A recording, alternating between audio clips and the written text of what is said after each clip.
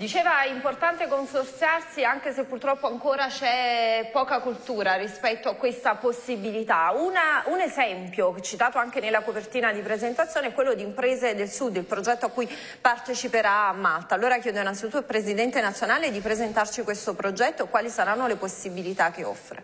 Sì, noi abbiamo lanciato, eh, forse siamo l'unica realtà associativa in Italia, abbiamo lanciato la partecipazione al prossimo Commonwealth Business Forum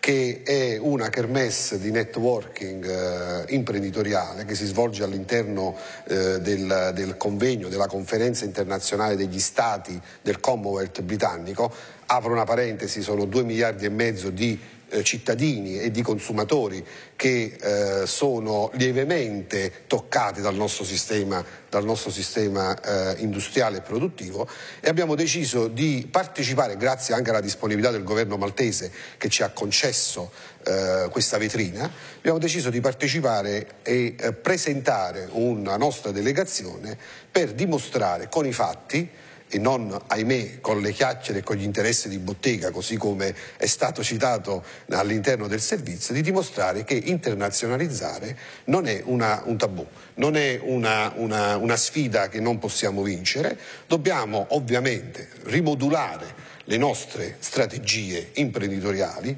accompagnare le imprese non ai convegni ma sui mercati in maniera concreta e cercare di sfoltire tutta quella platea di consulenti che gira intorno a questo sistema e che purtroppo, ahimè, non produce effetti positivi.